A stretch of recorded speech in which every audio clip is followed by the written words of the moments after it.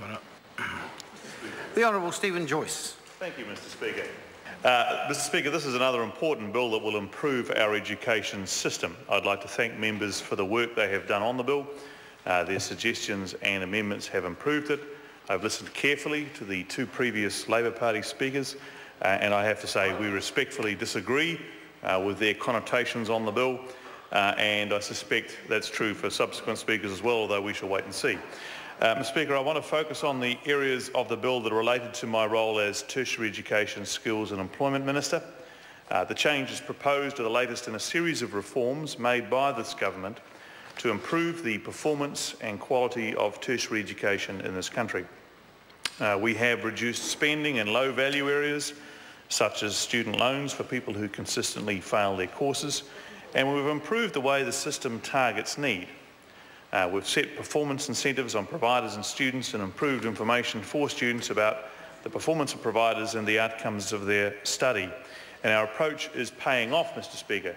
The tertiary system delivered a record number of qualifications in 2013. Also that year, 26,200 bachelor degrees were completed by domestic students, up just, just over 4,500 since 2010. Right through the 2000s, the number of degree graduates flatlined despite big increases in tertiary funding by the previous government. So these results are great to see. We're also in the process of improving outcomes for Māori and Pasifika students. Uh, the number of Māori students enrolled in qualifications at bachelor's level or higher increased from 17,500 in 2007 to 22,100 in 2013. And the number of Pasifika students enrolled in qualifications at bachelor's level or higher has increased from 8,570 in 2007 to 12,600 in 2013. Uh, there's more work to do, but the direction is positive. The changes to university and Wānanga governance proposed in this bill builds on these gains. There are four major changes from the current model. Firstly, councils will decrease in size from 12 to 20 members to 8 to 12 members. Universities in Wānanga will choose their council size within those limits. Secondly, uh, council membership requirements will be made more flexible by the removal of specific representative requirements. Thirdly, the Minister and councils will be required to appoint members with relevant knowledge, skills or experience. And fourthly, the duties and accountabilities of individual council members will be clarified, including the circumstances in which a member may be dismissed. All university and Wānanga councils will be required to have at least one Māori member to assist the government's role of raising achievement, goal of raising achievement for Māori, and I would note that that would not involve significant change to current arrangements. These changes will support councils to respond effectively to a rapidly changing employment market, adapt to new challenges from changing technology and teaching, and operate more strategically and effectively in an increasingly competitive international university environment. The changes will help address the difficulties large councils can achieve, have with timely decision making and communication. They will bring university and Wānanga councils more in line with the governance bodies of other organisations of all types. The changes are particularly important for Wānanga.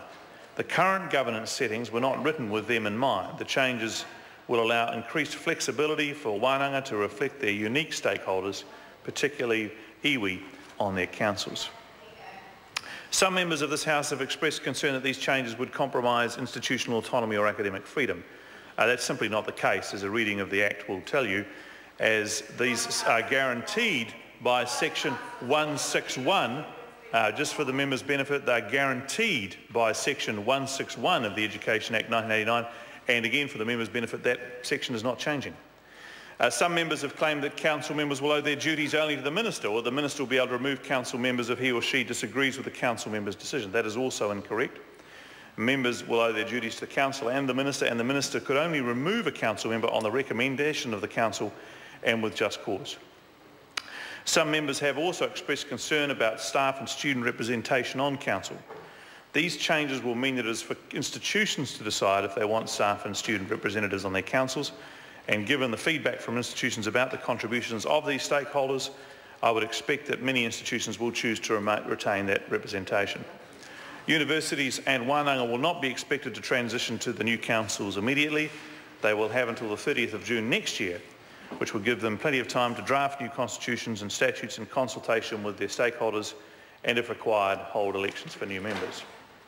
However, those institutions that wish to transition to new councils immediately will be able to do so. Uh, Mr Speaker, the bill will also improve the tertiary education system's responsiveness to the needs of international students. Uh, international education is very important to New Zealand. It contributes, the latest figures say, $2.85 billion a year to our economy and over 30,000 additional jobs for New Zealanders. The leadership statement for international education has set a goal of doubling the total value of New Zealand's international education sector uh, from where it was a few years ago to $5 billion by 2025. International education also showcases New Zealand to the world and improves our connectedness as a country. It provides us with lifelong ambassadors. Graduates return to their home countries and share their experiences with their friends and families and colleagues. And international education also enhances teaching and research as students share their knowledge with New Zealand teachers and researchers. Of course, if New Zealand is to sustain and grow the international sector, international students and their families must have confidence that they will be well cared for and have a great experience in this country. This bill strengthens the legal framework governing the care and support of international students and improves the responsiveness of the education systems to the needs of those students. This bill creates a strengthened legal framework for a revised code of practice for the pastoral care of international students. The bill targets intervention to providers who are not complying with their obligations under the Code. It requires that all reasonable steps are taken to protect international students in a timely manner and ensure that they have a positive experience in this country. The bill also establishes a dedicated independent contract disputes resolution scheme for international students and improves the student fee protection regime which covers both domestic and international students. The bill also strengthens quality assurance to promote accountability and high standards. To protect the quality of tertiary education, the bill strengthens enforcement and offence provisions. Mr Speaker, this bill builds on the strong foundations of the tertiary education system and the government's commitment to continually improving that system. It makes important changes to the governance of our universities in Wānanga so they can respond more quickly and strategically to the challenges of modern day tertiary education. It will create a more robust regulatory framework for our international education sector and also improve the quality assurance of our tertiary providers. Mr Speaker, I commend this bill to the House. I